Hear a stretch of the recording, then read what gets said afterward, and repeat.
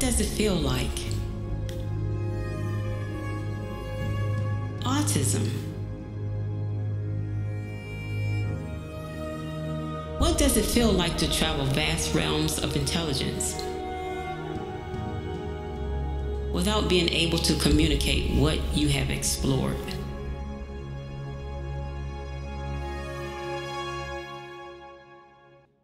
When I was pregnant with Darius, prenatal tests came back negative. I was given the option to have a specific test to reveal the defect, but I decided not to because it may have caused premature labor.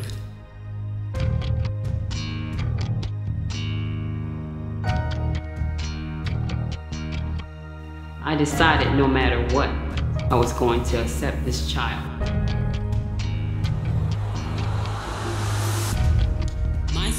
Darius was diagnosed with autism at age two.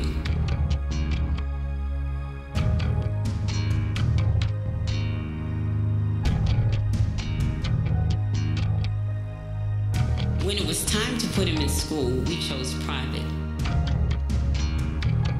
Since the private school did not have the preferred extracurricular activities, we decided to place him in a public school.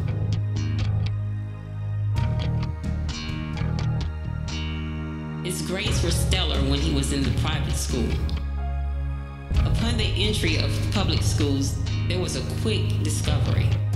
His progress was not up to the grade level expectations.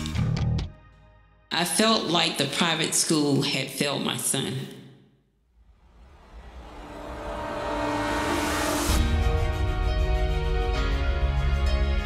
Talent is not explored. The heavy demand on educators do not allow for proper assessment. Assumptions partnered with the lack of funding given to the school systems creates a deficit. The hidden worth of those living with autism is left uncovered.